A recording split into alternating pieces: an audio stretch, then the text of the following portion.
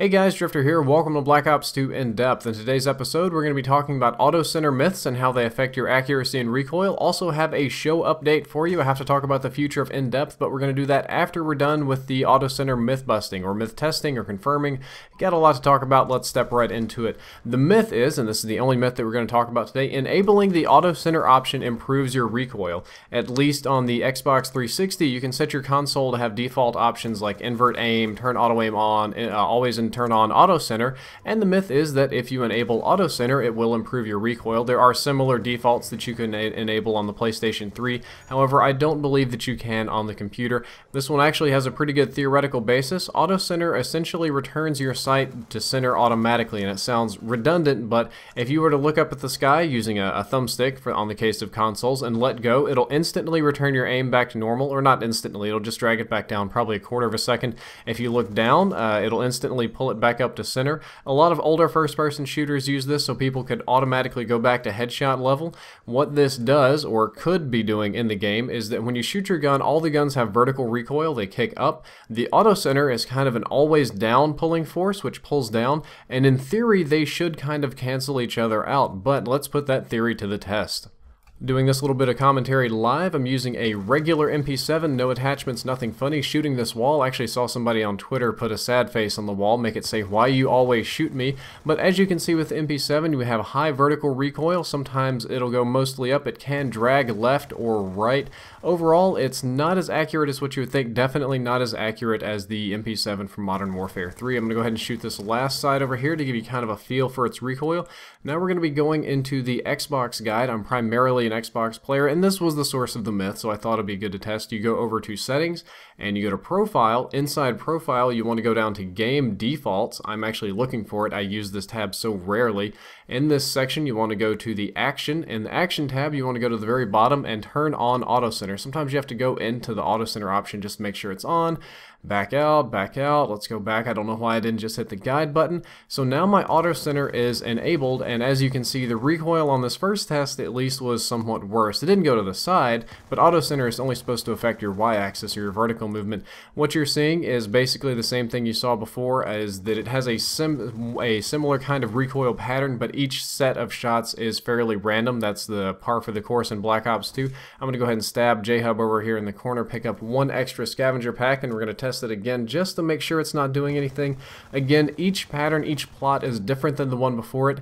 It's uh, essentially random, but it is following some set boundary or pattern, and there's no difference. I'm going to go ahead and turn my auto center off because I'm going to run the test again with a different weapon. See, here it is. I'm looking for it. I use, I'm just so not used to going in here. I always go to preferences to appear offline or change voice through TV or something like that. I'm not used to going into this action tab and turning it off. The next weapon that we're going to be testing is the AN94. This is also a very popular one, has high vertical recoil. This is with the auto center off, going to shoot the wall again.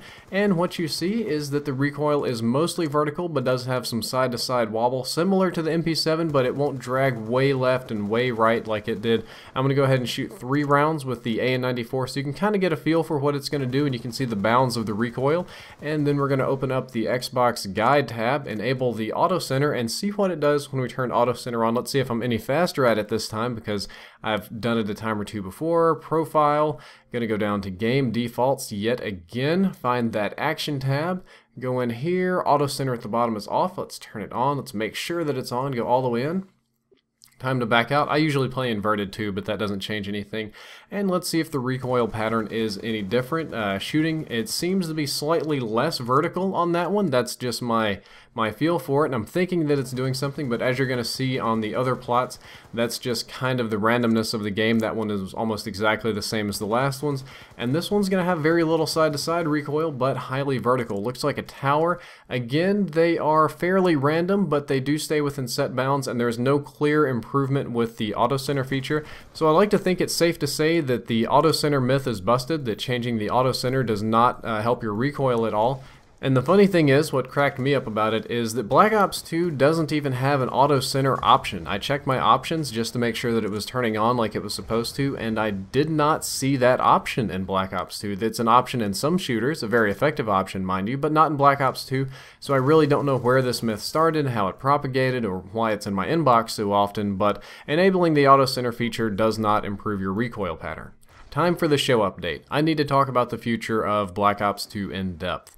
I've been going at this for about five months now. I've reviewed every single weapon, primary, secondary, special, sniper. I've reviewed a lot of the equipment, about half of the perks, a dozen different updates, uh, myths, versus sort of episodes. I've been doing a lot of different things, and I'm kind of running out of the technical nitty gritty. Even done some score streaks. Now, mind you, there is quite a lot left, but most of the things that I'm familiar with, that I know a lot about, that are easily testable, have already been done. The items that are left are, uh, let's say, trivial, they are not a lot of information out there about them, or very hard to test, or something like that. So I'm going to be opening up the scope of in-depth. We're going to be discussing broader subjects of Call of Duty gameplay here. It's not going to be COD in-depth. COD in-depth was a different thing, and it ran its course. We're going to be doing this one in Black Ops 2.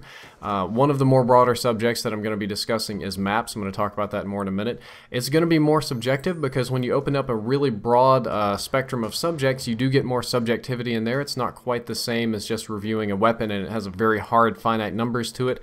If we're talking about gunplay, if we're talking about strategy and positioning, it is going to be more subjective. And because these topics are broader, they're more mentally intensive, there's more things to look up, the show is going to be less frequent. And I don't mean that I'm not going to upload it ever or I'm going to do it once a month, but before I got into a really good habit where I could play with a gun, I could master this gun in two days, three days, an afternoon if I had all afternoon. I had all my presets for the show done so I could just punch in the numbers more or less and it would load up on the screen and I could write in my information. It was a template and I got really good at mastering weapons really fast because that was the bulk of the show. Same thing with attachments. But now that is no more. I have to jump into a different pool, so to speak, tread different water, learn different things, and the editing is going to get more complicated. So as a result, the show is going to be less frequent. My goal is to still post it two to three times a week, but not every day or every other day like I've been doing. Uh, hopefully it'll still be good. And speaking of good, the next episode I'm going to try to make my first map guide on Grind. I play Grind a lot. It's a map that I feel comfortable with, comfortable making a guide about. I am aware that TmarTn also does map guides and jump spots, and his series is excellent. And without trying to copy him or be a raw instinct or whatever, I intend to move into doing in-depth maps, but I'm going to focus more on the spawns and somewhat less on the jump spots and some of the things that he does. I want it to be a unique show and not copying anybody else, though unfortunately unfortunately, overlap is going to be almost unavoidable. And with that, that's the end of this episode. If you'd like to check out my previous episode on Bouncing Bettys versus Claymores, you can click the link on the left. It'll open in a new window. If you'd like to check out the next episode, which is going to be on the Grind Map Guide, you can click that and it'll also open in a new window. As always, if you enjoyed the content, don't forget to like, favorite, and subscribe. Drifter out.